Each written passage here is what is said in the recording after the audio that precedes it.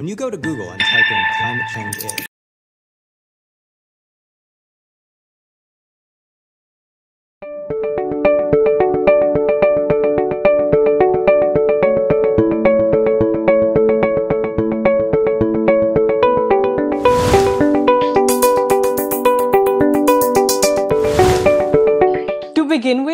uh, I'm on my second watch of the documentary. Above anything, what I felt the most um, interesting and sort of revealing was that it was actually people that were pretty high up in the tech industry sort of um, unveiling these truths.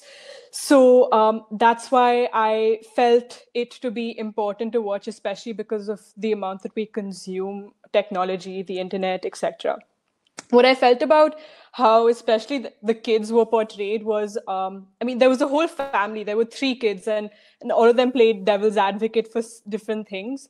Uh, did i relate to it completely? Um, i don't think to an absolute extent just because i'd imagine for shock value a few things were portrayed to be maybe more extreme than i've seen them personally.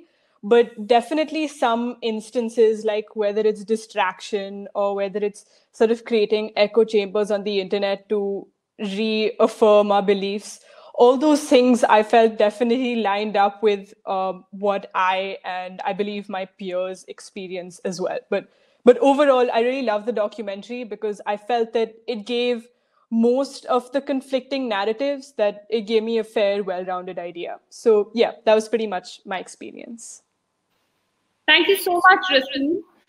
Uh, Arman, did you relate to that as well, the way Rasil related to the uh, documentary? Um, unfortunately, I didn't love the documentary as much as um, Rasil has expressed that she has. Um, and that's mainly because of uh, its tone and its um, cinematic use of techniques. It's very um, dramatic and atmospheric, and it's trying to create a very um, terrifying or horrifying atmosphere for the viewers, which in some ways is understandable because it's a serious issue.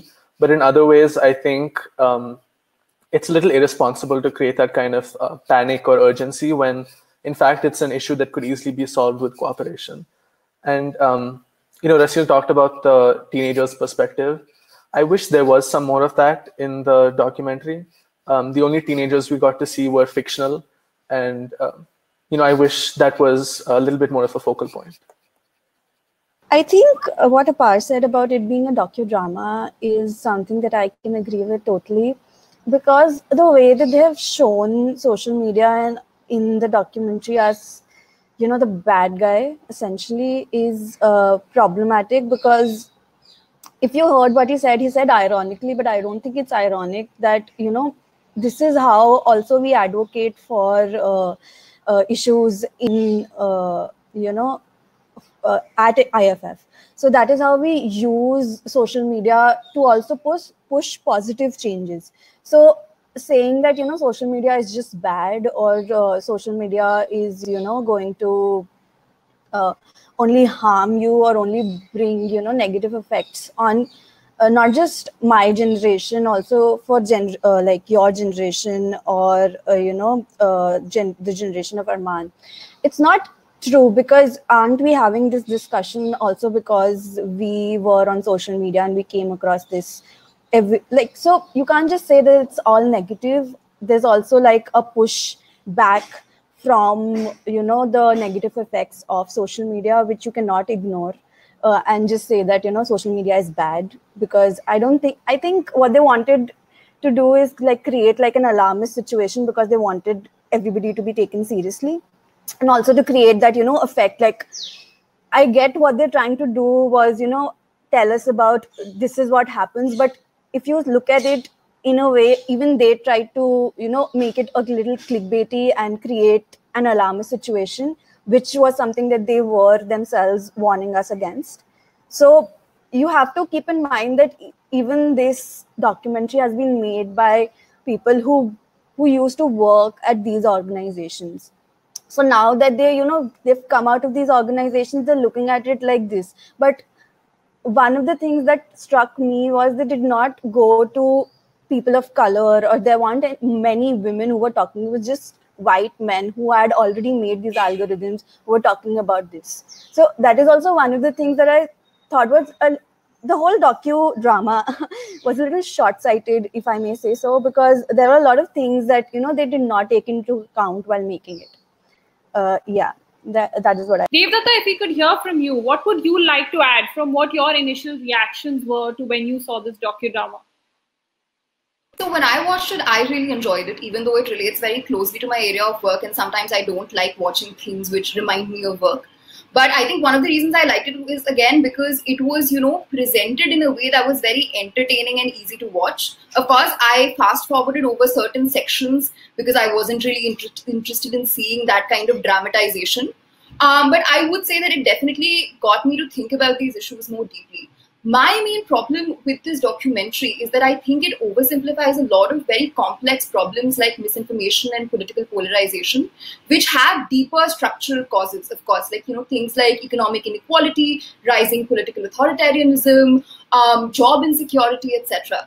And that's also my problem with this causal link that it tries to draw between mental health of youngsters and social media use I mean, think about it, right? Like somebody who was in their 20s and was entering the job market around the 2008 financial crisis has now, in the first decade of their professional career, experienced two major economic depressions. We're shifting to an economy which is all about, you know, oh, it's the gig economy where all of us have to hustle, and no wonder we're all depressed and burnt out all the time. So I think when you you know do this kind of technological exceptionalism like technology is this unprecedented existential crisis we are facing that nobody has ever seen before. I think that's a little disingenuous. And this is perfectly emblematic from the fact that tristan harris very you know tristan harris is the person who used to work for google and then uh, founded his own organization um, he talks about how when bicycles were first introduced, nobody said bicycles were would ruin society. And this is what I love about Twitter, right? Because people very helpfully pointed out that when bicycles were introduced, there was a lot of moral panic surrounding bicycles too. People thought that bicycles uh, would lead to everything from appendicitis to smoking in women. So, like, yeah, so I mean, we need to remember that the things that we're facing have historical parallels, and generations before us have faced so that's one thing that I really wanted to emphasize on. The other thing that I really wanted to emphasize on is I don't think there are any easy, simple solutions to this, right? And we need to remember that the companies that we're dealing with, these big tech companies, they're at the end of the day for profit entities whose primary goal is always going to be maximizing revenue that's their number one objective. You also need to understand the sort of dynamics of the tech ecosystem where there is this immense pressure on companies from investors to scale up very, very quickly.